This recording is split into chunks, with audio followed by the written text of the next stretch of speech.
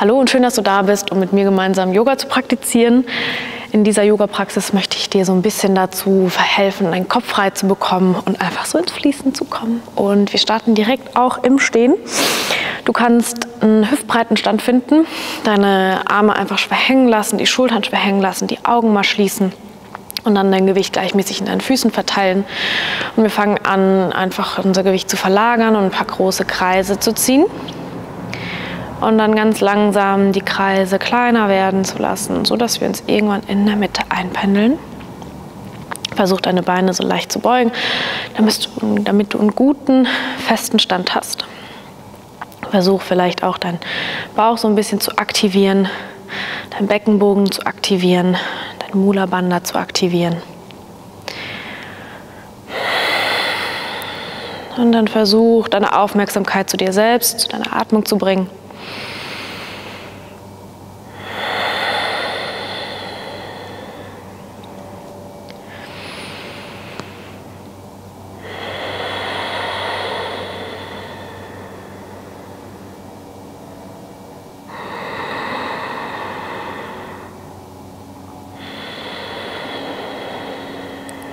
Und dann fang an, deine Arme noch ein bisschen lockerer werden zu lassen. Vielleicht deinen Stand ein kleines bisschen noch zu vergrößern, damit du so richtig stabil stehst. Und dann fang an, deinen Oberkörper so leicht von rechts nach links zu drehen, die Arme einfach schwingen zu lassen. Versuch keine Kontrolle in deine Arme reinzugeben, nur deinen Oberkörper zu treten. Das heißt, deine Arme, die babbeln einfach so an der Seite rum. Und die schwingen dann einfach mit, wenn sie keine andere Wahl haben.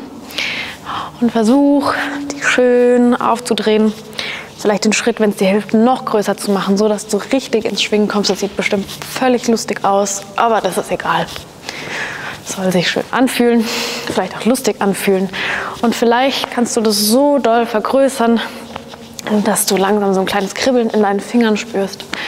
Und dann kannst du dir selber auch einen Klaps hinten auf den Po geben, um ein bisschen gute Laune zu bekommen. Noch ein bisschen weiter, noch ein bisschen schneller. Und noch für drei, für zwei, für eins. Und dann bleib einfach in der Mitte stehen. Schließ nochmal deine Augen. Spür das Kribbeln in deinen Fingern. Halte kurz inne. Sehr schön. Und dann stell dich mal an den Anfang deiner Matte. Auch wieder hier hüftbreiter Stand. Beine sind leicht gebeugt. Und dann nehmen wir die Arme hoch. Und bei der Ausatmung schwingen wir die Arme nach unten und oben. Einatmen, wir kommen wieder hoch. Ausatmen, nach unten. Einatmen, komm hoch durch die Nase, atmen, ausatmen durch den Mund. Wir machen das noch ein paar Mal. Sehr schön. Einatmen, hoch. Schön explosiv ausatmen. Einatmen, wieder hoch. Noch für drei, zwei und eins. Und dann lass alles hängen, lass die Arme unten hängen. Ganze Vorbeuge. Sehr schön. Dann bring deine großen Zehen zusammen. Die Ferse können ein bisschen Platz noch haben. Bring deine Beine schön nah zusammen und dann setz dich einmal hier tief. Und wir kommen nach oben in den Stuhl. Die Arme ziehen entlang deiner Ohren. Wir versuchen hier in den Entenpo wieder einzusammeln. Becken nach hinten zu geben. Bauch ist fest, Rücken ist lang. Sehr schön. Und dann ganz langsam verlagere dein Gewicht auf den linken Fuß. Heb mal deine Ferse an. Dann heb auch mal deinen Fuß an. Und dann vorsichtig kick deinen Fuß nach hinten. Zieh die Arme entweder auch nach hinten oder vielleicht sogar nach vorne. Komplett auseinander für deinen Krieger 3. Dann beug dein linkes Standbein. Setz den rechten Fuß hinten auf. Zieh die Arme nach oben. Hoher Ausfallschritt. Einatmen hier. Ausatmen, die Ellenbogen ziehen nach unten, das rechte Knie tippt unten auf. Einatmen, komm wieder hoch. Ausatmen tief. Einatmen hoch. Und ausatmen nochmal tief. Schulterblätter zusammenziehen. Sehr schön. Und dann bring die Hände nach unten. Schieb dich über dein linkes Bein, streck das linke Bein aus für die weite Pyramide. Du kannst gern hinten die Ferse auch ganz weit nach oben nehmen, so dass die linke Hüfte nach hinten bleiben kann. Sehr schön. Dann beug dein linkes Bein, stell beide Hände auf und dann zieh zurück. Linkes Bein nach oben. Beug dein Bein, öffne die Hüfte und dann flip einmal deinen Hund um, sodass du deinen linken Fuß aufstellen kannst. Wir gehen in ein tiefes Wild Thing, bedeutet, wir legen das linke Bein unten ab, lösen die rechte Hand, setzen die linke Hand hinten auf und dann verlagern wir das Gewicht auf das linke Bein, auf das Schienbein und dann ziehen wir den rechten Arm über den Kopf. Tiefe Einatmung hier und bei der Ausatmung setzen wir uns vorsichtig nach unten ab. Wir drehen rum, so wie wir vorher auch hergekommen sind und dann setzen wir den linken Fuß vorne auf. Wir setzen den rechten Fuß auch hinten auf. Und wir kommen nach oben in eine Krieger 2. Auch hier werden wir es ein bisschen dynamischer werden lassen. Beug dein linkes Bein schön großzügig, zieh die Arme rechts und links auseinander. Blick geht über die linke Hand und auch hier mit der Atmung. Streck dich lang bei der Einatmung. Ausatmen explosiv nach unten. Einatmen hoch. Ausatmen nach unten. Einatmen hoch. Ausatmen runter. Sehr schön, noch zweimal.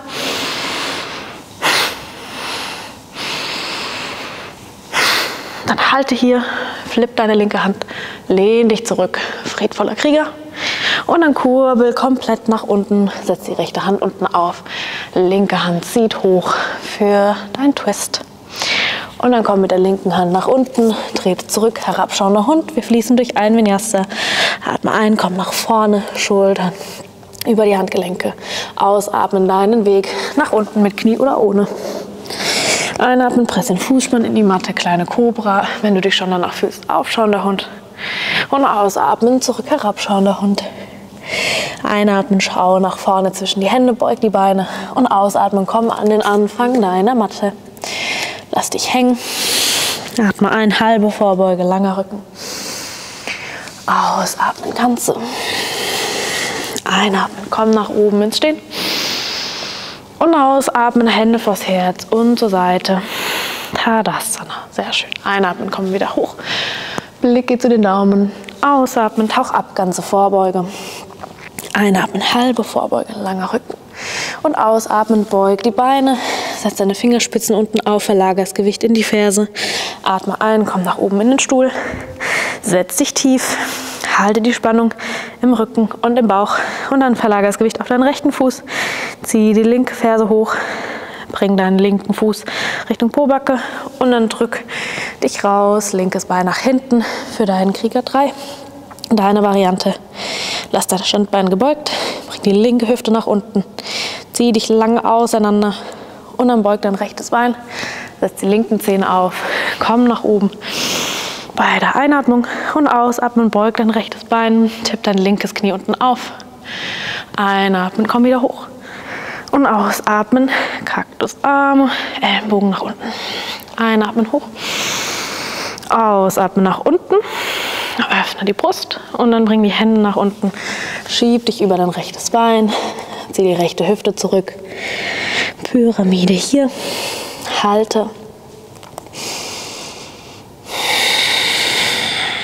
Und dann bring beide Hände nach unten, zieh dein rechtes Bein zurück, dreibeiniger Hund.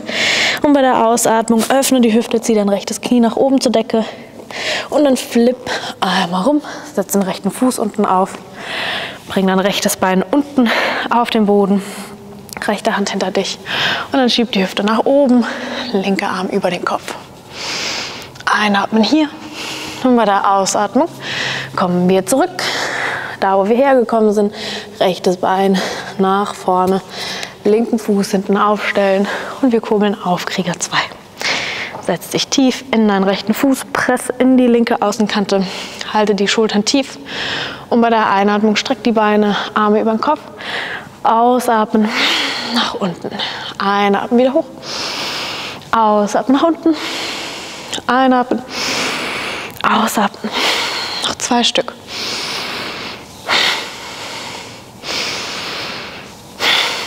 Sehr schön. Dann flipp die Handfläche einatmen, friedvoller Krieger. Und ausatmen. Wir kurbeln nach unten, linke Hand aufstellen. Rechter Arm zieht hoch. Sehr schön. Und dann bringen die rechte Hand nach unten. Zurück, herabschauender Hund. Einatmen. Kommen nach vorne wie eine Welle. Ausatmen, dein Weg nach unten. Ellenbogen bleiben nah am Körper. Einatmen, Cobra oder aufschauender Hund. Und ausatmen, zurück, herab, schauender Hund. Einatmen, schau nach vorne, beug die Beine und ausatmen. Komm an den Anfang deiner Matte. Einatmen, langer Rücken, halbe Vorbeuge. Und ausatmen, ganze. Einatmen, komm nach oben ins Stehen, nimm die Arme mit über den Kopf.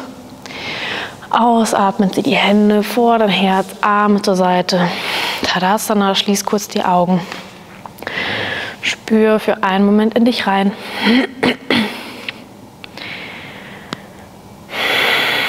Lass die Schultern tief sinken. Versuch dein Gewicht in der Mitte gleichmäßig zu verteilen.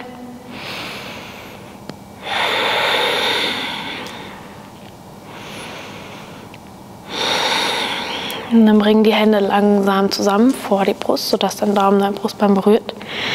Zieh dein Kinn auch leicht zur Brust.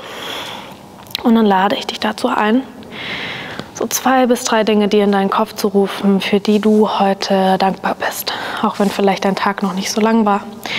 Überleg mal, für was du so richtig viel Dankbarkeit verspürst. Können auch nur ganz kleine Dinge sein. Wenn es dir schwer fällt oder dir gar nichts einfallen sollte, dann kann ich dir dabei ein bisschen helfen. Vielleicht verspürst du Dankbarkeit dafür, dass du dir die Zeit genommen hast, um was für dich zu tun, auf deine Matte zu gehen. Vielleicht bist du dankbar für deinen Körper, dass er so viel jeden Tag für dich macht und atmet und dein Herz schlägt und du essen kannst ohne dass du dich groß drum kümmern musst. Und vielleicht bist du einfach dankbar dafür, dass du all das, was heute noch bevorsteht, erleben darfst. Mit Personen, die dich hoffentlich lieben und ich bin dankbar dafür, dass du heute mit mir Yoga gemacht hast. Ich wünsche dir noch einen wunderschönen Tag. Namaste.